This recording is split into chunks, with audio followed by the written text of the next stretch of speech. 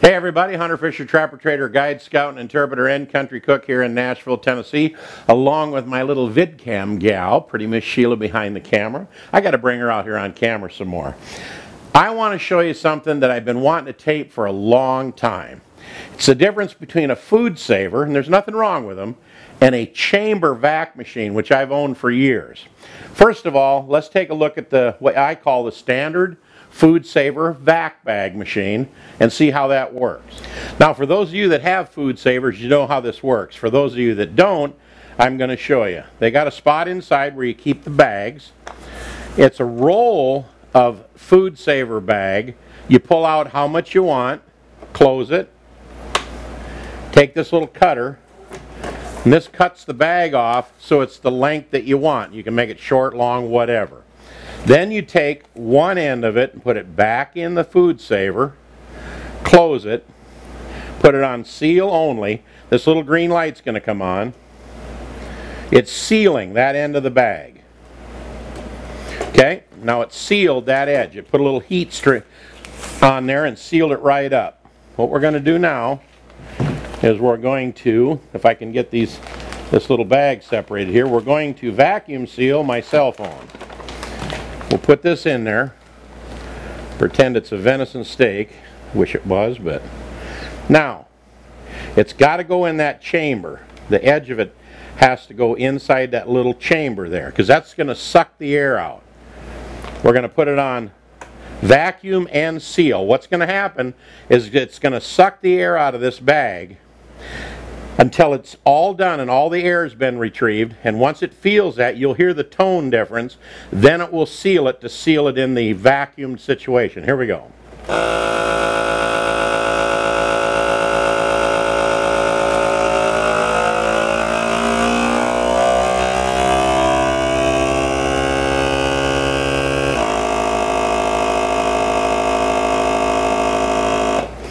Okay, now it's sealed it. But because it had to be in here and the seal bar is out here handy dandy, that means about this much of the bag is wasted. The other side, about that much of the bag is wasted. Here is the big problem, in my opinion, with food savers. You have to have this kind of bag because it has little ridges inside that allow the air to suck from the back let's say if you got a steak in here, when it's pulling, it has to go through these little ridges to get all the air to the front edge. Again, this is the food saver bag. Has to have those ridges or it won't work in the machine. This is a chamber vac bag.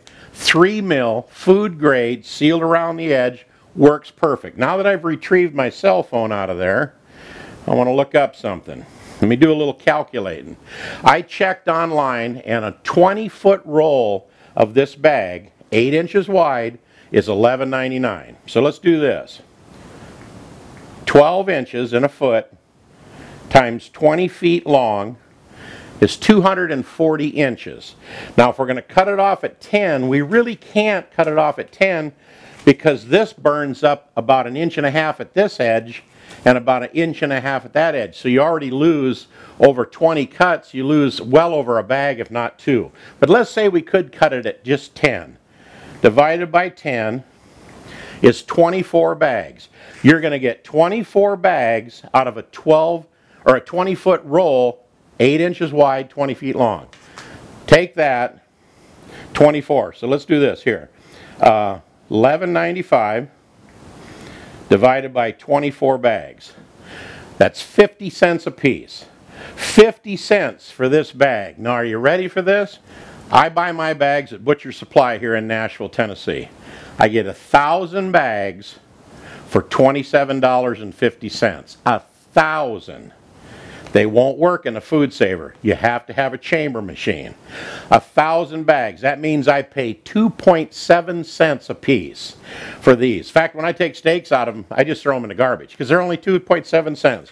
What good does it do to save a dollar and a half on steaks at the grocery store if you got three steaks in a package when they cost you 50 cents a piece to vacuum bag anyway? Now, I understand the you know, cutting it off and reusing it, and you do get three to five months or six months out of them, okay, but you're still paying 50 cents a bag for these because they've got you. They sell you the machine anywhere from $39.95 to 250 bucks on television now, but you have to use their patented little bag, which costs you 50 cents a piece.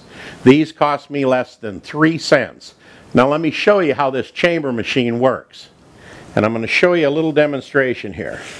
I got my glass that I put one pound of hamburger in. You just slide this over the top of that, turn it upside down, and you've got a pound of burger in there.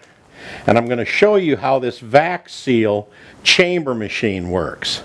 Now this is a VacMaster chamber machine, and let me show you how it works. We're going to lay this bag inside the chamber, and we're going to lay the edge of the bag on this little seal bar and close it. Now here's how it works. When I turn this switch on, there's a little hole in the back of the chamber. It's going to suck air out of the entire chamber, not the bag, but the chamber. Once it reaches the 30 psi that I like to pull it down to, it's going to snap that little bar up inside, seal the bag, then it's going to release the pressure in the chamber. But because the bag was sealed at the same 30 psi below atmospheric pressure, it has to make a vacuum. Watch this. Okay, it's pulling the air out of the chamber, not the bag. The bag is just relaxed laying in there. Now we're going to snap the seal bar up. It's sealing, and now it's going to release the air. It's going back down to normal atmospheric pressure. And when you pull it out, is that handy dandy or what? This is what's cool. I cut and wrap all my own venison. I pop a pound of burger in there and then I mash the bag flat. Again, this is one pound. Instead of having one of them tubes in your freezer taking up so much space, just vacuum seal it in a chamber machine and lay them. You can stack them up in a cardboard box. They take up virtually no room. They freeze up great. They're good for a year to two years. And man, you got your venison burger. Look how thin it is. Isn't that slick? Now let me show you something else. In this cup, I've got some soup. Let's say you make some homemade chili and you got a you want to whip up a big pot of it and then freeze it. Now I know you can pour it in milk cartons or you can put it in in uh, tubs, you know, whatever. But if you'll put it inside of one of these cups, turn it over, and put it in your chamber vac bag, let me show you how this works in here. Before I do that, let me explain. I cannot seal this in a food saver because it sucks air out of the bag and obviously the soup would head that way and go right into the machine and ruin it. Now, they have you do all kinds of options. First of all, they make a food saver bag that has a little cloth strip, which is even more expensive than their regular bag. Or they tell you to take your product and freeze it first, then stick that flat frozen chunk in the bag and then seal it. But we don't have to do any of that. Let me show you.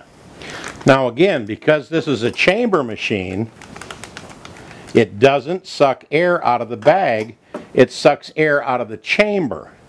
We'll turn this on.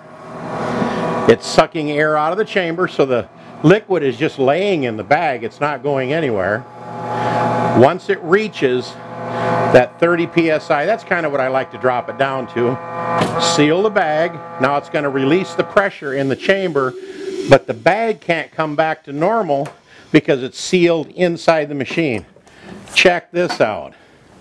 Can you do that with a food saver machine? I think not. And let me, show you something else that's really cool.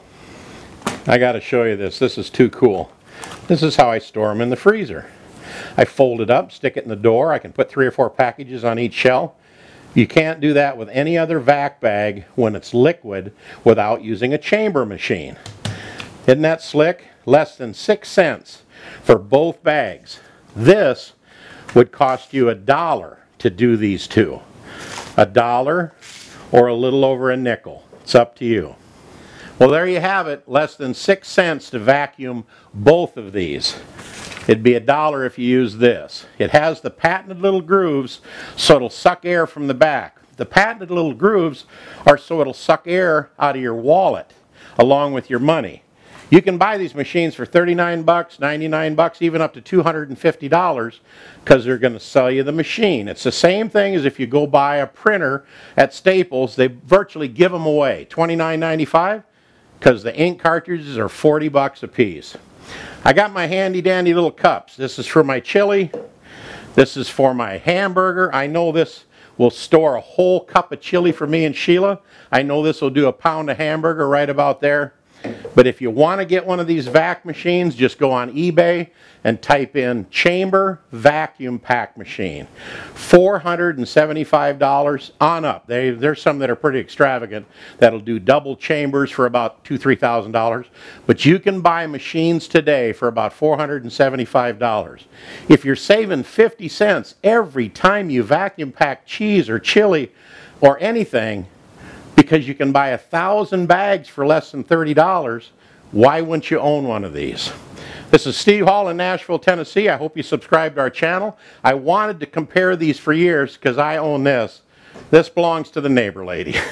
I just wanted to show it to you. I don't own one because I don't want to pay 50 cents a bag to vacuum stuff when I can do it for less than 3 cents. I hope you enjoy this. We'll see you next time. Thanks, Sheila, for doing a great job back there. And I'm going to go vacuum pack the rest of my chili that's in the pot that we made tonight. See you later.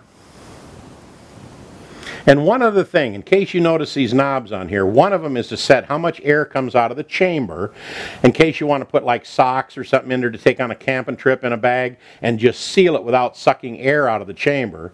Or you can really pull it down tight if you really want to seal something up good. And this one here is to set how long that bar stays up when it clamps up inside.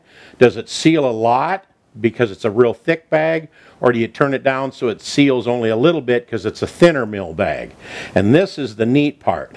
Most these vac machines have the same little hole, the same little attachment as a food saver, so you can stick that little hose in there to suck bags down, turn quart jars into vacuum containers, whatever. They have that same attachment hole right there, so you can do the same thing. I just wanted to mention what those were about and not forget to put that in the video. See you later. Hey everybody, thanks for watching Cooking with Shotgun Red. If you enjoy our recipes, become a subscriber to our cooking channel, and you'll be the first to know when a new recipe is posted. We'll see you next time, and don't forget to hit the subscribe button below. This is Shotgun Red saying thanks a lot.